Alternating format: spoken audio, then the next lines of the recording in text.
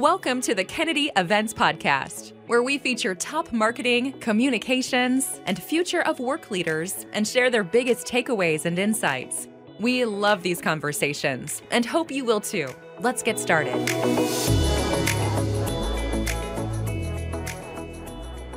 Hello, and welcome to the Kennedy Events Podcast. I'm your host, Paige Buck. Past guests include Kim Albert of Udemy, Sarah Razavi of Working Solutions, and Elaine Honig of Studio 440. And today's episode is brought to you by Kennedy Events. We create stress free conferences and events, providing expert management and design for all your corporate event needs, from in person to hybrid and virtual. You can learn more about us at kennedyevents.com. And today I'm delighted to be with David Ferris, uh, a creative professional with an extensive skill set that includes project management, technical production, event planning, visual art, and graphic design. He has excellent communication, focus, and multitasking ability and excels in creating dynamic environments for client events. As head of live events at EPMC, David is focused on creating opportunities that draw, drive long term event and business sustainability for both company and clients. Dave, welcome. Hello, hello. Hey, thank you for having me. Super happy to have you here. Um, so I was digging in a little bit on in your background before we got uh, started, but I would love to hear how did you come into this broader events world and into technical production in particular? Uh, very good question. I um, kind of go winding path to get here, maybe a bit different than some others, but um, uh, all the way back to uh, used, to, used to DJ and started a portable DJ service in high school, and so that was like the beginnings of you know liking to throw a party in, in essence, and then um, in college. Um, I majored in inter arts and technology, which is using uh, technology and art, um, and worked a lot in the theater and dance program there. And so that got some experience uh, working in theater and getting light, stage lighting and things like that. I've always loved photography, so that lent itself to kind of framing and light and graphic design as well. Um, and so I always did production on, as kind of a, a side hustle. Uh, I had a ran a nonprofit uh, art and conservation project working with elephants actually um, and so that kind of lent itself to contract negotiation and, and uh, customer um, you know working with customers and organizing events on a more corporate angle um, yeah.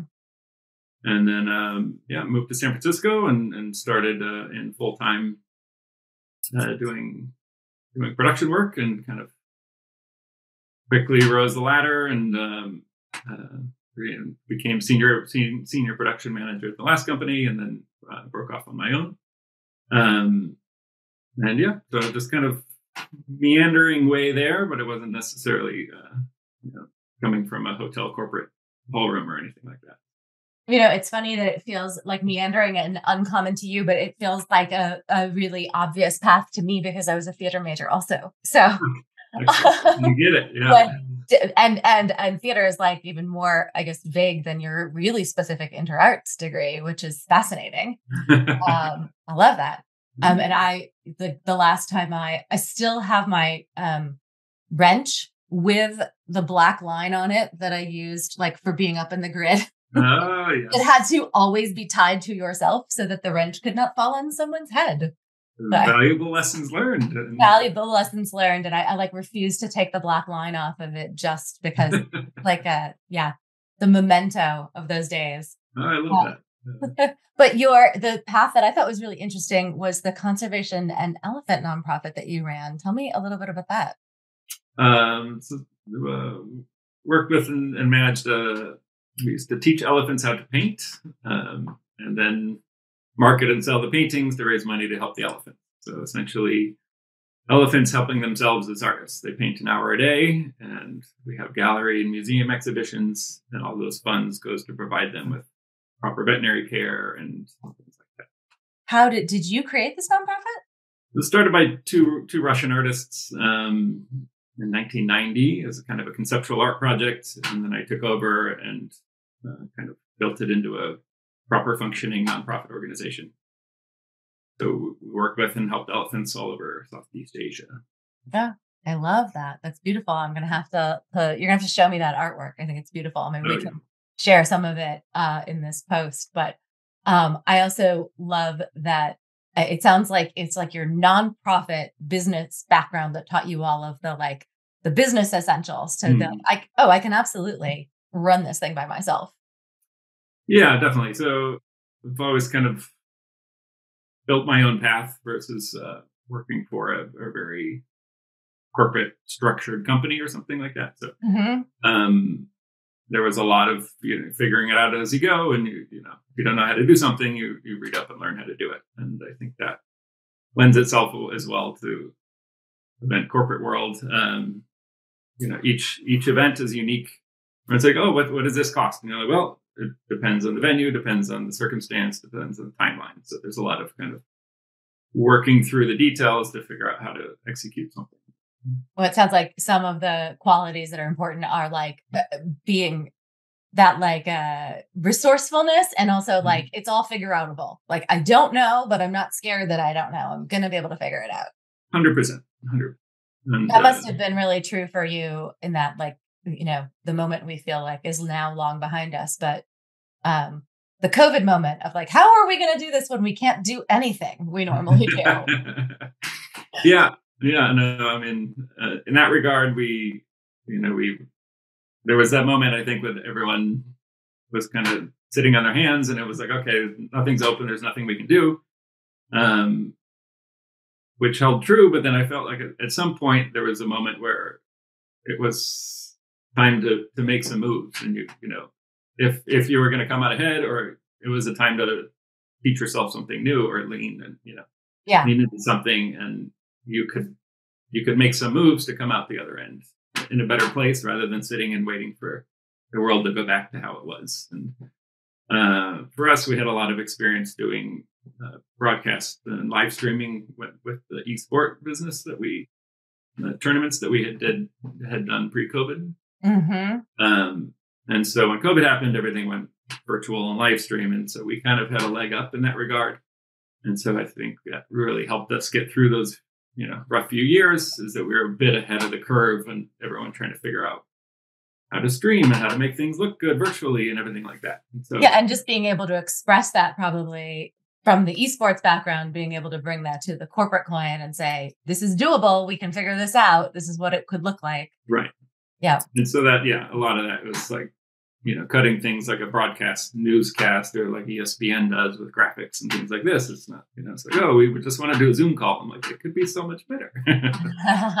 yep. Well, your team were essential to helping us shift and expand in that Mm. moment. Like we were like, pretty sure we can figure this out. Pretty sure we can make virtual happen and be a resource, but each project's going to require something a little different. And then being able to express what that looked like. You guys were able to say, oh, here's what the back end could look like. That's better than a Zoom. That's better than a Zoom meeting.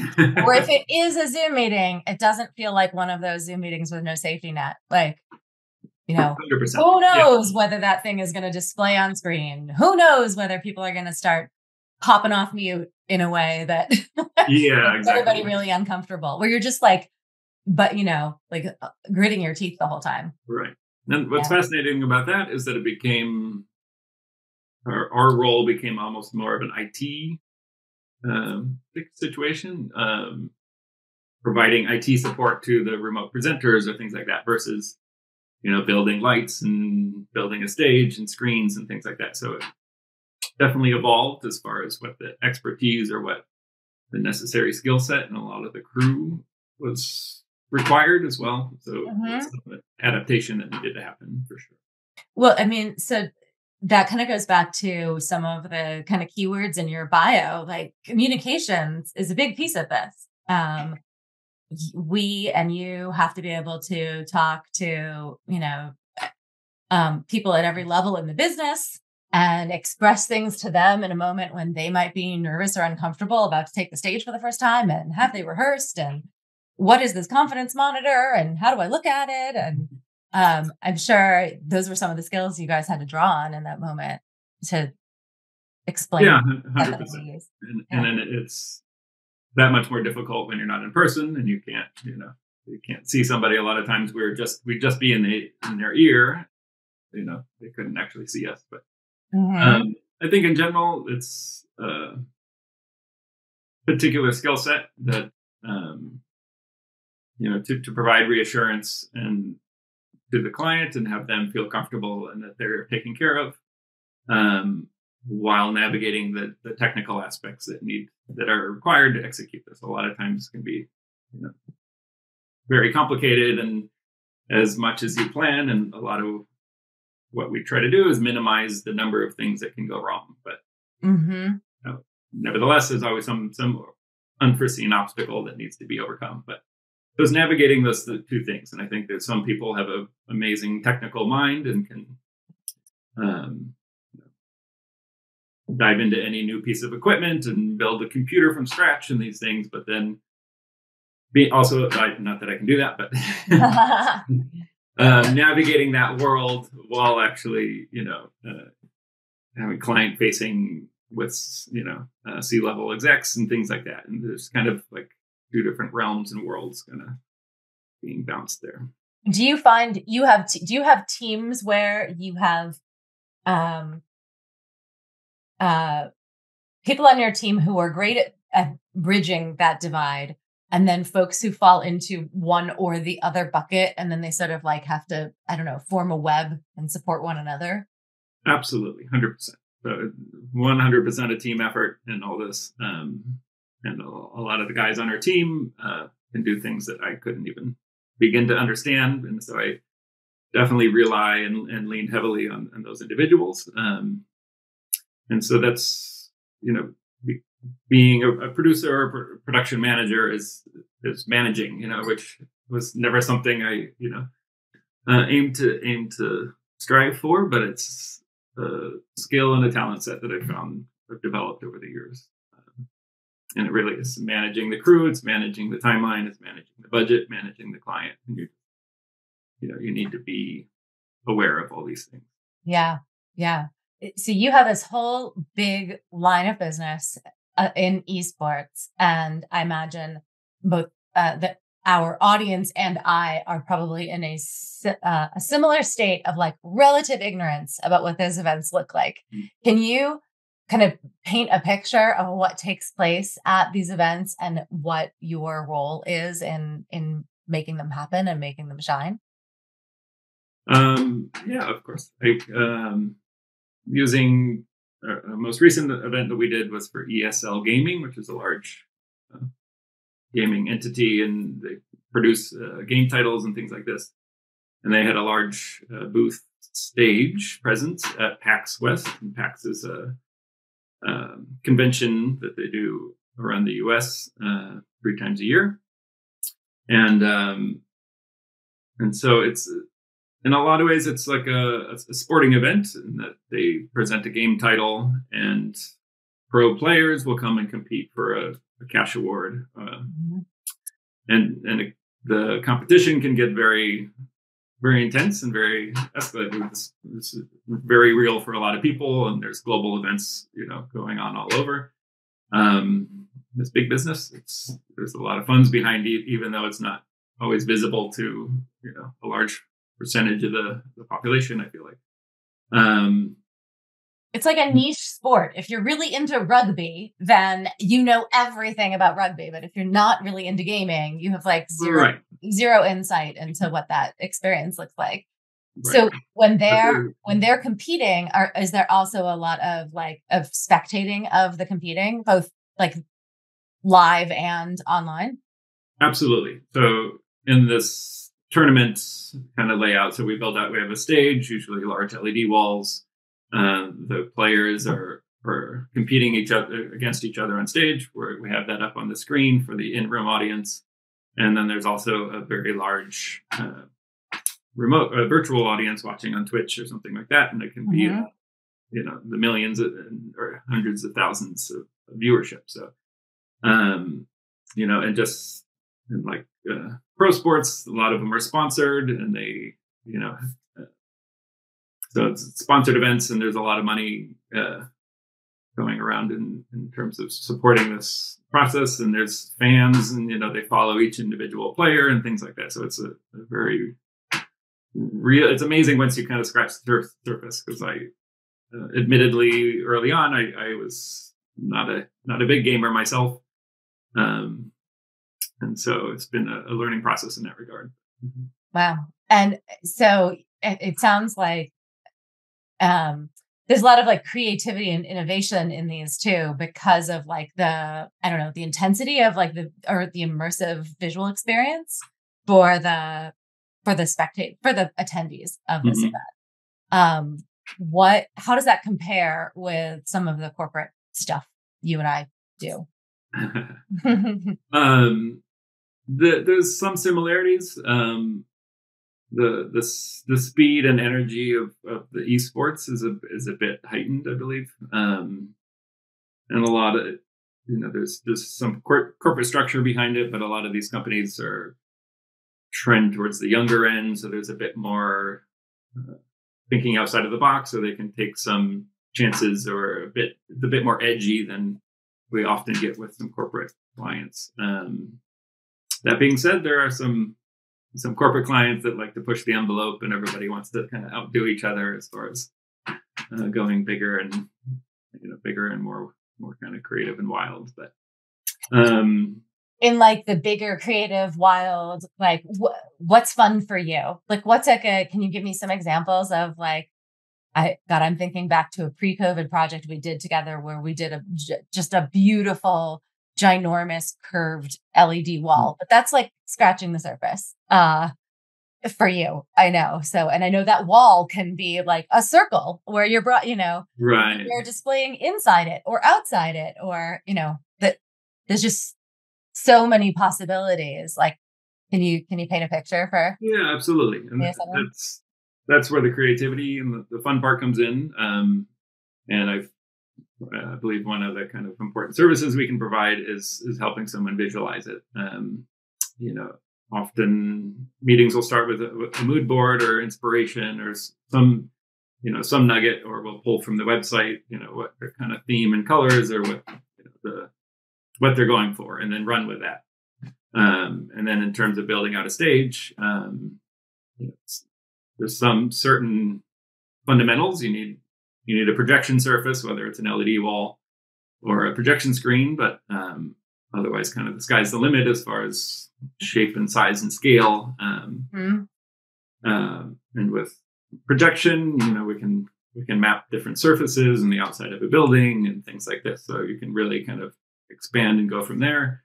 Um, and then LED walls uh, kind of also provide clarity and brightness, and you can do it outside, inside, and the sky's the limit with how big you can go and what kind of ratios you can choose and things like that. Um, and even do LED floors, and you know, it's just it's it's kind of that's where the fun comes in is pushing these boundaries, providing clients with some options, and then having that kind of back and forth and discussion. Uh, is, is the, the fun part of that process for me.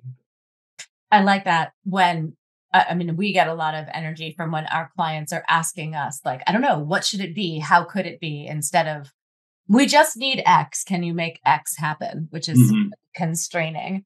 Um, what do you wish? Uh, I guess like a new client coming in, what what do you um, wish they knew about like getting the best out of you or getting the best out of the experience of of producing the event? Um, you know, some clients have a very clear, concise idea of what they want, um, and that can be can be nice in terms of they have a, some understanding of what it takes to execute something. Um, but that can also be uh, limiting as far as like this. This is what we know. This is how we want it done. Uh, versus thinking a little more creatively, or there's some new technology that came out. There is something that's really helps us kind of advance that. Um, so it's nice. I think having a client that's open and, and willing to to have those conversations, those creative conversations, um, you know, having the runway to have that creative development rather, rather than you know, oh, our show's in three weeks, like, can we, like make this happen, and then, you know, Well, there's the, there's the time for- component. Yeah, there's the time component. We wish they knew. What's an ideal like uh, minimum for you? You know, like you feel comfortable when you have at least how many how much time? Uh, it depends on the the size of the event. Scale, Um, Sure. One, well, one of these larger one of these larger esports engagements where you know there's going to be a lot of like refining and idea generation. Yeah, probably three Okay. months. Three months. Yeah, Oh, well, that's not- but Yeah. it Yeah. done. Yeah. um that's even i'm i'm pleasantly surprised because that three months for us because we're like we're earlier in the in the process and all of the Mhm. planning uh is like is coming up on a minimum as opposed to uh like a comfort zone Mhm. um but uh that's that's good to hear um, you're like wait a minute can i amend that yeah, exactly, that exactly. six i want six it's doable. I'm not saying that. doable it's doable where do you were just talking about new tech and new you know so many new things coming on the market where do you go to stay on top of trends or you know discover new tech although i'm sure people are you know sending you these things all the time but Um, yeah, I don't have any one particular resource. Um, just kind of just having being in the industry and having a finger on the pulse a bit. Um, Yeah. You know, the, the the network and the community that we built up with the crew and the team. Um, you know, a lot of it just kind of feeding on experiences, or somebody heard about this, or read about this, or is researching or testing this, and you know, so um, there's a lot of creative individuals within the industry, which great. nice so it sounds like your crew are bringing you things have you seen this thing we could do this with it Hmm. Yeah, a lot of times, to be honest. Nice. Nice. That's amazing. What do you um are there are there events that you or they attend to like to unpack that stuff? Or are they just always out there online keeping their eye on it or uncovering it when they are at another event they're they're running? Um, I, I- there's, uh, I was there. There's conferences and things like that. Um, I tend not to to attend those per se, but um, usually too busy. Yeah, ditto, ditto, which is why I'm always like, wow, when when people do have that, I'm like, really? Tell me more. How did you yeah, exactly. and why do those events happen during our industry's busiest times too exactly, exactly. yep yep i went to one in vegas in october like right smack between two other big projects and the entire time i was there i was like why am i here? Why am i here? And you're up in your hotel room. yep yep or like like leaning up against a wall in the convention center just like don't mind me. Yep. Um, are there trends that you see kind of um, on the horizon or places you wish the work would go that would make it more, you know, exciting for you or your clients? Um, I think uh, a, lot of it's kind of behind the the curtain advances that are are making things uh, easier or making old tech obsolete. You know that doesn't necessarily uh, you see visually per se, but um, Yeah. LED like LED walls alone, you know, were a big advancement, and the resolution's getting better and better, and, and flexibility in that. Um, a lot of camera systems as well uh, are are coming down from these big bulky broadcast cameras and getting much more more flexible and integrating into uh, the new world uh, much easier. Mm-hmm. Um, lighting is is also LED versus uh, conventional lighting allows a lot more flexibility and wireless DMX, and you don't have to have plugs and cables and things run everywhere, and you can control everything. Um, so I think you know those general trends they've been kind of at play for the last 10, 10 plus years, but um, uh, yeah, I mean I, I don't have any like Are there- silver bullet, and- and- but I like when you were just describing like the, the behind the scenes things that that people don't like that um but, but the audience doesn't see like the direct effect but you see what it allows you to Mhm. build and and uh and create that's more like lavish or lush or at, at maybe a different price point or mhm. um i'm wondering if there's uh, we were talking a little bit about, and I'm, I'm curious about the actual like um, either the broadcast studio or like the tech table experience and how that's changed or changing and evolving. Um, we're all still on like, you know, Clearcom headsets, um, but there's wireless for that, or we're using, you know, at some point during virtual events, we were using Discord for, in lieu of, you know, all being on like a cell phone call together. Yeah, the little text, Um, yeah. Yeah. That's true too. That, that's other advancements as well. Um, I say advancements, but then you're you're on email and Slack and Discord and here, and it's like too many, too many it's a little much sometimes. But um, yeah, I mean, Discord's been great. We we uh, use that quite a bit during uh, pandemic days and a lot of the virtual broadcasts. Uh, vMix is uh, a broadcast video uh, program that also kind of transformed the that that table as well, if you will. Uh, um, so yeah, the- the besides like the virtual broadcast uh studio creating that that new line of business uh you know just rethinking something you were already doing to apply it to when we were all stuck at home um are there ways in which the the pandemic or remote work have um shifted the way you do live events or the type of events you are getting asked to do Uh, absolutely. Uh, we still do some some remote live events, um, but generally everything's now gone hybrid. So there'll be uh, in-room audience, but also an element that is uh, a streaming element. It's definitely become more common, and I think uh, a lot of clients have.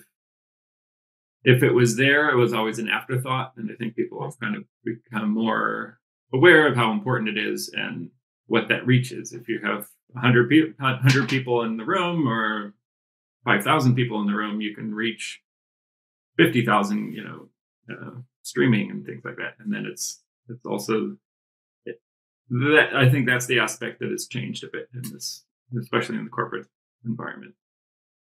what this is something I think we are we um I don't want to say struggle. We are pressed to articulate to corporate clients that there's that a hybrid event is like two or almost like two and a half events. Mhm. uh logistics cost, you know, and um all of the um and technology wise um to not underestimate like oh it's not just one event with a stream because then you then you risk that that oft, afterthought experience where the remote folks are uh like well that wasn't worth my time um you know or uh, all i am is keenly aware that i'm not there and if i were there the experience would be good but it's not good from here Yeah, um legitimate. And I have, have that exact conversation with clients quite a bit. as yeah yeah what are some of the ways you you help like the technology can help the um, live stream audience feel engaged you know it's not the same but that you can develop a, a different and still special experience for them Mhm. Yeah, and th- that is one of the obstacles and hurdles as far as how to how to cut the show and how to engage that audience. Um, and and it is innately kind of a problem to be solved. Of how do you you know if they're not in the room, so we've brought you know we've brought the the Zoom attendees up on the in-room screens and things, so there's some interaction. We brought you know uh, with a bit of routing magic, make it so in room and virtual can talk to each other. And, you know, a lot of times it's can be as simple as just taking chat questions and relaying those to the presenter. It's Yep. the most basic form of, of involving the remote participants, but a lot of times people want to explore ways to to not have them be invisible and have them kind of be more participants. yeah. Yeah. Don't have holograms of everyone in the room yet, but you know, no we're not we're not quite there. I, i've seen like um like staff dedicated to engaging that live stream audience in in the chat. We've uh we've played around with different techniques for having like presenters or MCs that are just engaging with them. Like when there's a live moment that you really have to be live for, then are we giving the streaming audience a different experience where they're they're watching or interacting with somebody just in that in that space? But that takes more resources. Takes more resources and i think that as you mentioned rather than it just being a stream and that them not feeling part of it um in an ideal world there's two different feeds or streams. The one's one's being cut for the screens that's going into the room and the other is a different cut that's going to the stream and uh, activates the program more than someone just sitting there. Because if you know someone's not on stage, it's like you're watching C-SPAN. Right? Yeah, exactly. Sitting and looking at an empty room. Like, how do yeah. we? You know, yes, yes. They've just cut the mics, and you're watching everybody get up and, and get water. Uh, yeah. That, yeah, yeah, yeah, as well. And and then I would say like those that takes resources and planning and scripting and consideration, and then mm-hmm. you guys have the pressure of that I don't know what I would think of as basically like merging two experiences into one technologically, which is yeah. So sure the experience we've been doing it for a good good amount of years now, so it's it's not a daunting task by any means, but it does take some additional thought. Any anytime I ever am am like back at the table with you and your team, and I am impressed that if something is going slightly awry, as it does, speaker is late uh, speaker has turned off their own mic. Um, what, whatever it may be, there's been a, there's been a slide change, and uh, you know we're not displaying what we want to display. That both your your team are like heads down, intensely focused, but nobody's freaking out. There's definitely that like duck that's calm on the surface. Mm-hmm. How do you um how do you like discover those qualities when you're when you're bringing on when you're bringing on new crew um, how do you pressure test them yeah no i mean it's it is a, a valid problem um but i you know on a personal level um i think i mentioned this before but um you know a lot of my work is done in the in the pre-production aspect and trying to you know, minimize the number of things that can go wrong during show and, and plan for it and have, you know, a fallback and have redundancy built into it. Um, and so we'll you know, always have a backup and always have these things. Whereas if something goes wrong and then everyone's looking at each other and you're like, okay, you know.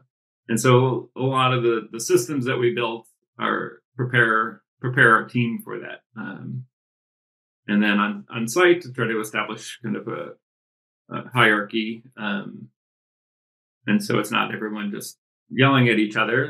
Everyone knows their position and their role. Um, if there's a problem, you go to here and go here, and then it'll get handled in the appropriate fashion. Um, and that ties into with with making sure that the client feels that they're taken care of, and it's not you know the ship is on fire. It's like everything is fine, and it'll get handled. Um, because even though try to minimize the number of things go, go that go wrong. Uh, there are always, you know, uncertainties that can happen and, and things you don't plan for or curveballs that come your way. So it's kind of inevitable. Um, and it's try it's, it's in the pre-production that that allows you to, to handle those in an appropriate fashion. Yeah. So when you guys come on site, are you actually having like a huddle up where you're establishing that hierarchy and that clarity Absolutely. of role? Yeah. Oh, it's impressive. I like that. I like that. I don't know if I've ever been like a fly on the wall for that, but maybe I should. Maybe I should try to be next time. yeah, time. I mean, when it's you know our, our core team, everyone we've been working together so well, and, and it's yeah, like, fairly smooth. But when you have a you know fifty person union crew, then it's it's added importance in that regard. Do you have like sometimes have to have sidebar conversations with your your TD about like the the crew that you're just getting introduced to for the first time, like I see that guy's strong. I see this person's a little. We're gonna have to keep our eyes on that person. We might have to help them out. Yeah, there's evaluation that goes along with it. And, uh, if it if it is a union crew, it's it's communicating that with the steward and keeping an eye on it as it as it progresses, um, rather than it coming to a head at a later point. Um, I think in my mind, more information is the better. Uh, rather than keeping people in the dark, I'm like, this is this is what we we have to accomplish. This is the time we have. This is where I want to be at the end of the day, and you know, trying to communicate that with all those involved, um, rather than everyone just kind of working in the dark towards an unforeseen goal. I, my personal approach is to provide people with as much information to, you know, make it a successful event and have them be successful. Sounds like naming the hard truth sometimes too. Like, Right. these are our limitations. This Mhm. is the concern I have. Let's name it now and not like as something, as, you know, the fire builds. Right. And you're like, I knew that guy was going to be a problem, but I didn't say anything about it. Yeah. yeah, yeah. That's really interesting. Are there um are there folks that um or work out there in the world that you like really admire and um or like a you know, I don't know, a pinnacle project you wish you could get your hands on? Cuz we have some of those like I Um, want to work with this company or I'll be so happy when I have a project that looks like this. Right, right. Um, yeah, there's not uh, individuals per se, but um, you know, look at uh, the production or stage or budget behind some major, uh, you know, musical act or a, a music festival or something, and it's just like, oh, you know, that that like, oh, if we had that budget and you know that scale. Um, that, that that that I find appealing, but yeah, like would you like to to be level. producing? Would you like to be producing music festivals and things at that scale? yeah, absolutely. Very cool. Very cool. Because sometimes I look at things and I think, oh, I envy that. And then I have to remind myself, but I don't want to be doing that work. Like, that's that's Yeah, not yeah. where I'm going. But but music festivals, I mean, that sounds very much like, uh, doable. and it's you know, and tracing it all the way back to just throwing a good party in, in essence. You know, whether it's a corporate stage, it's just having the attendees have a, a good experience and it's memorable. Um, but in terms of a music festival, it's that you know the lighting and the, the effects and the, the sound and everything. You know, that that I, I enjoy as well. and that all loops back to your high school DJ gig. Yeah, exactly. How I know that works? Uh huh. Is there anything I didn't ask you about yourself or EPMC that we should cover? Um, we are ready and available uh, to work with you on your upcoming events, and we try Yeah. available, but yeah, Well, I know our project teams always have an amazing experience with your you and yours. Um, and uh, yeah, I think you know we trust EPMC with our our VIP clients and always get the best. Um, so thanks, thanks for being a good partner and collaborator with us. Thank you. It's been a pleasure working with Kennedy Events for Yeah. a Um, few years now. Yeah. Well, so I've been talking with David Ferris, head of live events at EPMC. You can learn more about EPMC at epmcpro.com. Uh, and I bet we can find you on LinkedIn. David, any other social media handles you want folks to have? Um, no, LinkedIn would probably be best. Very good. All right. Thanks so much. Thank you so much, Paige.